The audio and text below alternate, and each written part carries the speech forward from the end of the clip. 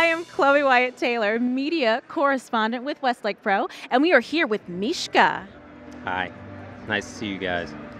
Hi, Mischke. What brings you out to the Pensado Awards tonight? Dave Pensado, Dave Pensado. He's like the uncle to every single one of us. We all, I mean, some of my first records were mixed by Dave, um, and he's always been the teacher that he is online. He was always the teacher that to all of us in person. He's, it's just always been who he is. Just a great soul.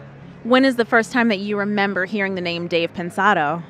Um, first time, I- well, I grew up in a record store, so the first time I read the name Dave Pensado was probably mid '90s. Cameo, I think. I think it was a Cameo record. Um, yeah, he's just the best. And what brought you into the whole world of music in and of itself?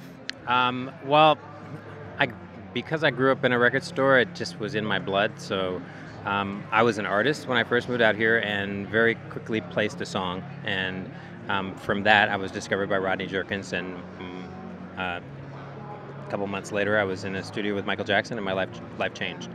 So um, that's kind of what happened.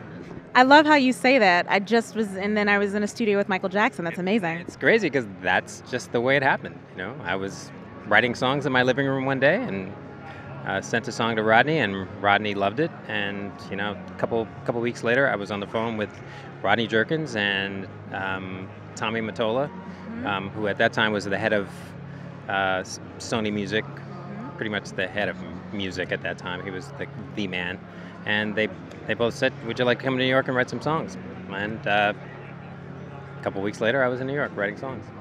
So and it just never stopped. That's a dream come true. Um, it is a dream come true. I'm a very blessed person. yeah. And so now, what is one of the things that you're looking forward to most tonight? Um, just seeing Dave. You know, th- these these are things. The awards are really kind of a way for all of us to pay tribute to Dave.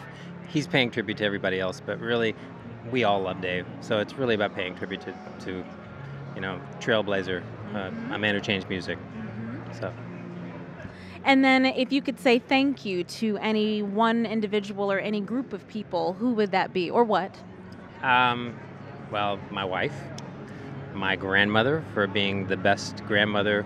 She owned the record store, and she would always send me home with study material. So if there was a record that she didn't think I'd appreciated or hadn't heard, she would send me home with it and make me study it. So I would thank my grandmother, but I would always th- thank Dave, um, always thank Rodney Jerkins.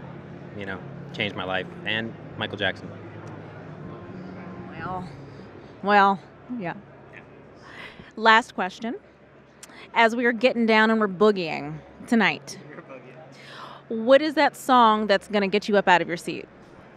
Oh, you you've really got me in a. You got me stumped. I I can't tell you. I'm sorry. Fair enough. I don't know that I could tell you. Thank you so much for stopping by the Westlake Step and Repeat. Ladies and gentlemen, this is Mischke, And I'm happy to be here. and he's happy to be here. And I'm Cloie Wyatt Taylor.